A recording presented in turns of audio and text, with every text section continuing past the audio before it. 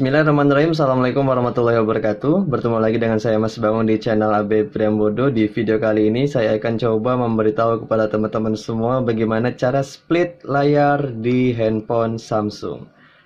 Langkah pertama yang harus teman-teman lakukan Yaitu siapkan tampilan layar yang akan di split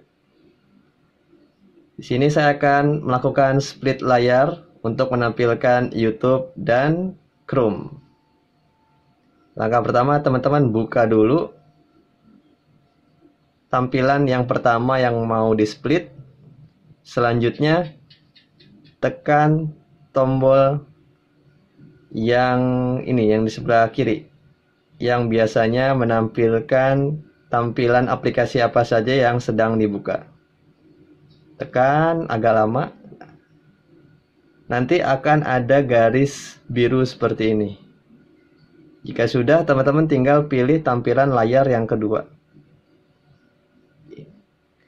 Maka akan tampil dua tampilan dalam satu layar sekaligus. Yang di atas adalah tampilan yang pertama, kemudian yang di bawah adalah tampilan yang kedua. Di tampilan pertama ini contohnya yaitu YouTube dan di tampilan keduanya browser.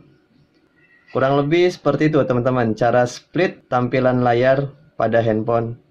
Ini saya mempraktekannya di Samsung A5. Sekian video kali ini, semoga video ini bermanfaat. Terima kasih. Assalamualaikum warahmatullahi wabarakatuh.